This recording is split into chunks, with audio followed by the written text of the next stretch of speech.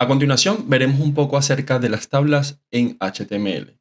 Las tablas son un elemento de tipo contenedor que contiene, valga la redundancia, elementos en su interior. Estas tablas eran una forma de representar el contenido hace mucho tiempo de todo lo que sería el contenido de una página web. Más adelante veremos cómo se representan ahora la distribución de contenidos. Sin embargo, las tablas son muy útiles al momento de querer representar un conjunto de datos de manera organizada. Recordemos que las tablas tienen columnas y tienen filas. En cada uno de estos espacios se va a ir mostrando información. En esta ocasión vamos a utilizar algunos personajes del videojuego Mario e incorporaremos algunos datos acerca de qué tipo de personaje es. Pero para mostrar esto debemos conocer primero la estructura de una tabla. La sintaxis correcta para definir una tabla es a través de la etiqueta table, que es una etiqueta de apertura y cierre. En su interior va a ir todo el contenido a mostrar en nuestra tabla. Nosotros acá tenemos una distribución de filas que muestran datos a partir de lo que nosotros vayamos definiendo. La primera fila que se nos muestra acá es el TR, que hace referencia en sus siglas a Table Row, es decir, fila de tabla. Dentro de esta primera fila que nosotros tenemos acá, vamos a agregar un comentario.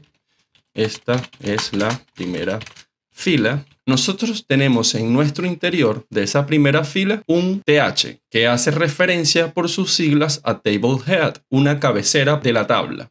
En este caso, estamos definiendo que la cabecera de nuestra tabla va a ser nombre y tipo. Acá en el navegador, ambos datos, nombre y tipo, ambas cabeceras, se muestran con un color de texto distinto al resto. En la siguiente fila de nuestra tabla, nosotros vamos a empezar a incorporar por cada una de ellas los datos que nosotros vayamos a tener en dicha tabla. Y dentro de cada una de estas filas, nosotros estamos utilizando la etiqueta TD. En este caso, hace referencia a las siglas Table Data, es decir, dato de la tabla o información de la tabla.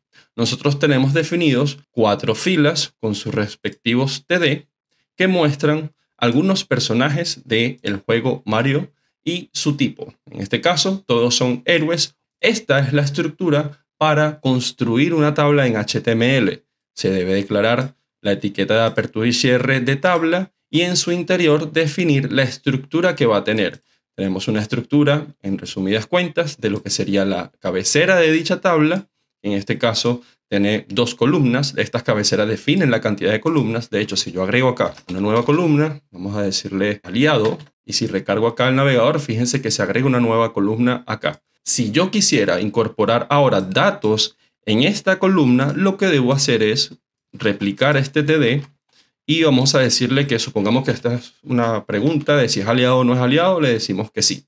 Y ahí aparece el dato acerca de Mario. Lo mismo tendría que hacer con Luigi, lo mismo tendría que hacer con Rosalina y lo mismo tendría que hacer con Pauline.